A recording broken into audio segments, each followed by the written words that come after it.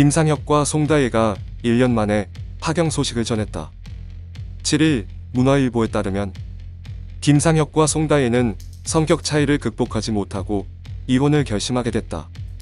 두 사람의 측근은 김상혁과 송다희가 많은 대화 끝에 신중하게 결정을 내린 것. 이라고 전했다. 현재 두 사람은 조용히 이혼 절차를 밟고 있는 것으로 알려졌다. 이어 추측성 보도에 대해 걱정하고 있다. 무작정 숨길 수 없는 일이기 때문에 공론화된다면 입장을 낼 것 같다. 고 설명했다. 두 사람은 앞서 소속사를 통해 지난해 4월 결혼 소식을 전했다. 특히 클릭비 멤버 중 제일 먼저 결혼식을 올려 관심이 쏠리기도 했다. 6살 연하의 일반인 여자친구로 소개한 송다혜는 얼짱 출신의 쇼핑몰 CEO로 알려졌다. SNS나 방송 등을 통해서 두 사람의 달달한 모습을 공개한 바 있다.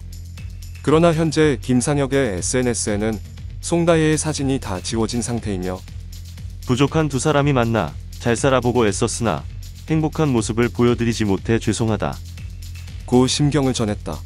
이어 그는 서로의 상처를 보듬으며 잘 살아야 했는데 다 저의 불찰인 것만 같다. 잘해준 거보다 못해준 게 많은 것 같아 마음이 무겁다.